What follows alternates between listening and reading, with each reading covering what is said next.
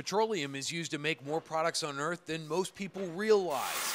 The Aztec Plastic Company in Chicago relies heavily on oil because oil is used to make plastic, and they make custom plastic parts for machinery. I'm not a chemical engineer, but if you look at how many pounds of plastic they make out of a gallon of oil, they make a lot of plastic. While a lot of people would like to cut off all uses of petroleum because of the BP oil leak in the Gulf, Aztec Plastics owner Martin Wielgus says it's not that easy to do without products made from oil like plastic. It's kind of funny, but we'd be back to the Flintstones. We'd be working with rocks and pushing things with our feet. Let's take a closer look at things that are made out of petroleum or plastic. And to do that, you're going to need good eyesight. So put on your glasses or put in your contacts. And remember, both of those are petroleum based products made from plastic.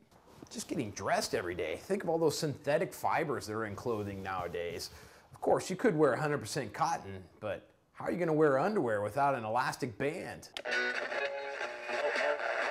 And then there's music, whether you're listening to it in your clock radio, your stereo, your computer, or your cell phone.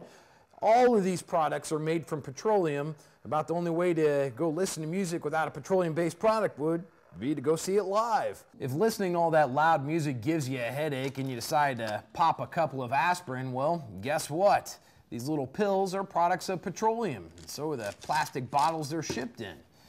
As you can see, cutting off the consumption of oil is not going to be just as easy as driving less or changing the way automobiles are powered.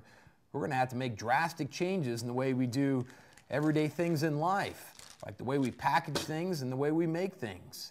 The good news is plastic can be made from something besides petroleum. Mark Carlson, The Associated Press, Chicago.